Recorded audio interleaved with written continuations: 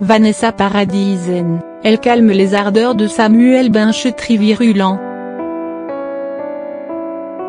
Très zen, Vanessa Paradis a réussi à calmer les ardeurs de Samuel Benchetry, tenté de corriger un photographe, ce qui aurait pu lui coûter très cher. Le Daimai a publié une série de photos de la chanteuse de 46 ans et de son mari déjeunant à Paris. Les moindres de leurs gestes avaient été épiés à la loupe.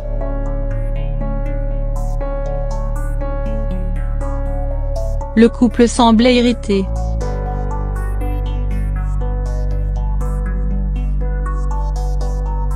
Mais ce qui semblait agacer le réalisateur de Chien, c'est que leur petite balade a ensuite été immortalisée et qu'il n'avait pas été lâché d'un semelle. Doté d'un tempérament de feu, Samuel Benchetry affichait un regard noir tandis que Vanessa Paradis, habituée à la présence des paparazzis, tente de le calmer.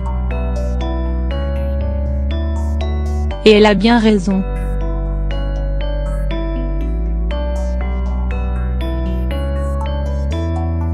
Une star star a été condamnée pour violence. En février dernier, Jennifer et son fiancé, Ambroise, avaient en effet été reconnus coupables de violence en réunion n'ayant pas entraîné plus de 8 jours dites.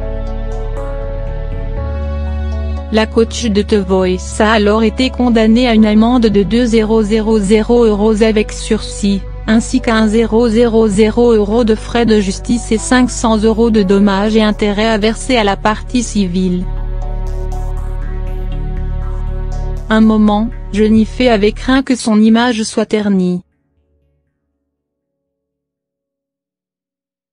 Ce passage devant la justice risque bien malgré tout de laisser des traces, commentait public.